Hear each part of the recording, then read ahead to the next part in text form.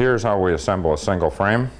You're going to take your plastic seat and bolt it to your seat tube with the four screws, keeping the back of the seat back here at your 2-inch connector for your to fit into your 2-inch receiver. That'll be bolted on with the four bolts here. Then we have the front end of the trap where your trap's actually going to be mounted to. You can turn that over and this slides in and out. You can adjust for the big or the small guy and uh, tighten those up.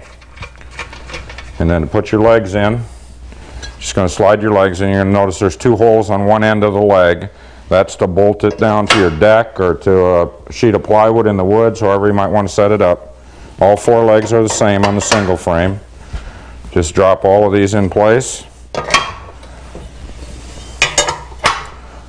Tighten everything up. Finish tightening everything up. You flip your unit over. And then here's where you put on your patented uh, three pivot mount. It'll come with a nut on the lower casting. Just drop it on and finger tight it and you adjust it later. There, which is all put together. Tighten everything up solid and you're ready to mount your trap. Assembling your full cock trap is very easy. Trap comes completely assembled already. You just need to mount your trap to your three pivot mount by dropping through and putting the one nut on.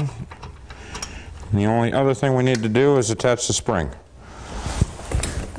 We're going to lock this in place.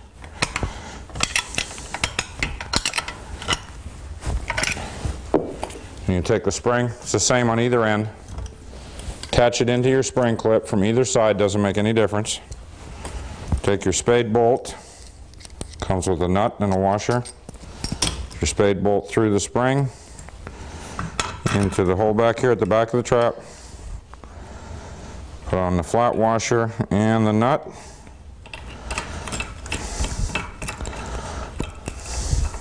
This is a nylock nut, so you're going to need to spin it on there so it stays. Move this over here, make it a little easier. And what you're going to want to do is turn this on enough so that the trap head, trap out here is a little bit taut. That's good enough right there. And it comes with a handle. Just spin that in.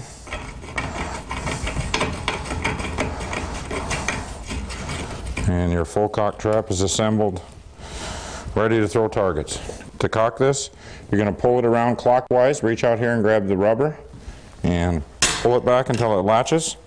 To release, pull on the yellow string.